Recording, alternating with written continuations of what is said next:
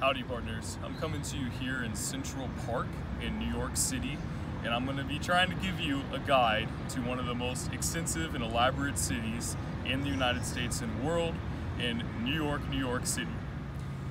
So the first thing that you need to know whenever you're coming to New York City is that there is no possible way that you can see everything that there is to offer in New York City in your one trip over here, whether that be five days, seven days, even if you're living here for an entire year. There's way too much going on here in New York City, so don't fall into the trap, right, of trying to do so many things that you're really just rushing by things to ch check a list at the end of the day because you want to be enjoying the stuff. There's some of the most incredible things that you can see here in New York City and you want to be making sure that you're not just breezing through it so you can do the old, well, I said that I did X thing. And so with that said, the second thing that y'all need to know whenever you come to New York City is please do not be afraid to be a tourist. Guess what? Whenever you're on your way here and you're coming here on a vacation, you are in fact a tourist and so is just about every single person that you see around you, right? So don't be afraid to pull your phone out and take all the pictures and video that you want to most other people here are in your shoes as well. They're enjoying themselves. Make sure you get all those good keepsakes and pictures of your family and you'll be able to document where and what you've done. Nobody cares that you're taking up the time. Just make sure that you're not standing in people's way whenever they're trying to walk because trust me, even as a tourist myself, that's even frustrating for me and it's literally everywhere. So don't be that guy but do be a tourist whenever you're coming here to New York City. So the number three thing you need to know whenever you're coming to New York City, if you're like me, you're gonna really love and enjoy some of the museums that they have here. That's something that I like to do in almost every major city I go to, and you have an enormous plethora of options when you're here in New York City. But whenever you're going to places like the Met or like the Museum of Natural History, you've got to understand that these are things you cannot do in just a few hours, right? There's so many floors and such an expansive amount of art and history and sculptures and important pieces in these museums that you can literally take several days, right, whenever you're going in there and still not be able to actually stand and appreciate every single thing that they're going to have on display. For instance, even at the Met, your $25 ticket actually gets you access for three days because they understand there's so much going on there that you're probably gonna have to come back. I agree with it 100%. I found that about halfway through just what we were trying to see, right? I was running out of, uh, you know, attention to detail. I'm walking past priceless pieces of art, right? Just like they're nothing because I've already seen a thousand different things that were incredible, right? And there's only so much time you can spend on each one. So the lesson here that I learned and I think is important is that you actually plan out your trip to the museum.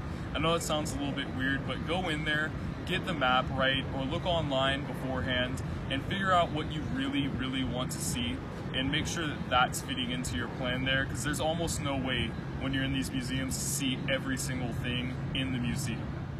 So the number four thing to know when you're here in New York City is that Central Park is a lot bigger than you think, right?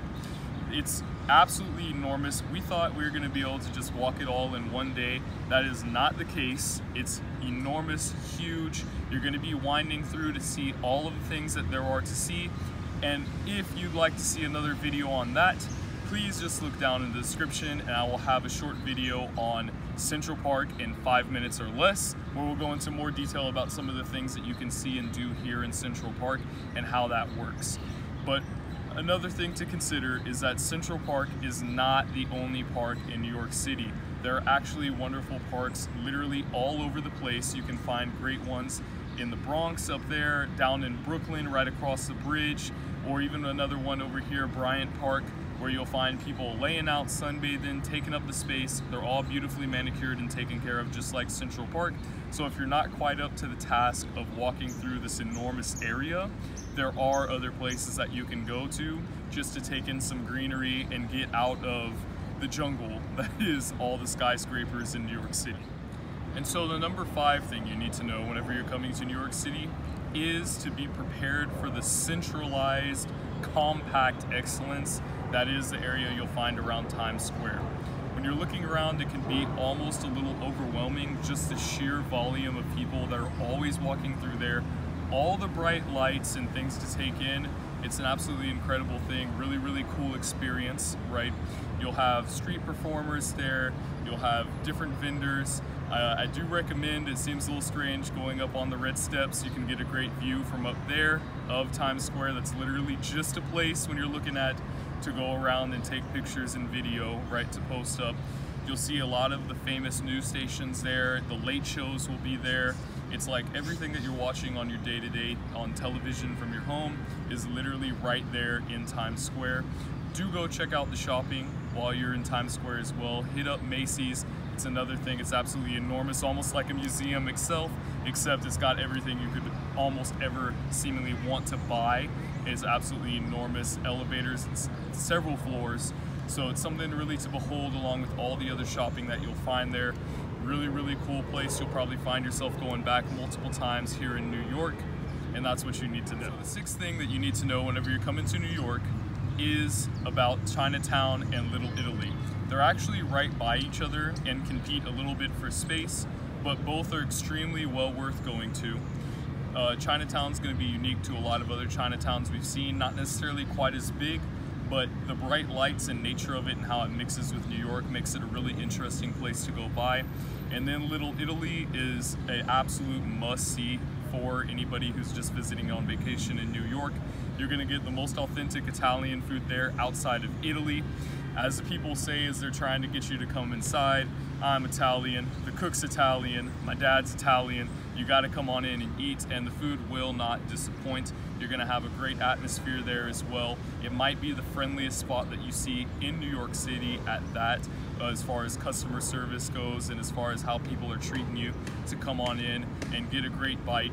You're not you're gonna leave extremely full because you know Italian food always packs it in as well. Just make sure you leave room for dessert because you're not gonna wanna miss the gelato and the cannoli there.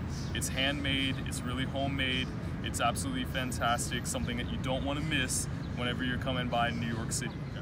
And that brings us to the number seven thing to know when you're in New York City is that the people here might not be giving you that same sense of hospitality every single place you go, right? It's not like when you're visiting the South, where I know that I'm from, and you give that real good Southern hospitality and people are happy to be waiting on you.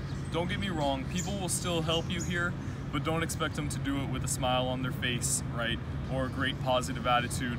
Yeah, they'll still sell you your ticket for the subway, or they'll serve you your food, you know, at the restaurant that you're at, but there's there's not exactly that same sense of excitement to be doing that or they're really happy at their job and happy to be serving you so you will avoid that and you'll you might miss it whenever you come up to New York but just know to expect it everyone's still to help you like I said but they're not to be giving you that great great hospitality while you're here and with that the number eight thing whenever you're coming to New York is the room size here is going to be very very small the closer you are to downtown the smaller that your room will be, just like everything else that you see here, right?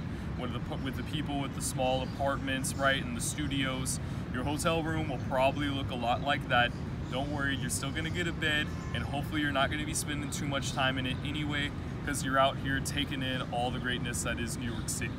Number 10 thing to know whenever you're coming to New York City is that this is not gonna be your cheapest vacation that you've ever had. A lot of things here are going to be very expensive, like the transportation that we were talking about before.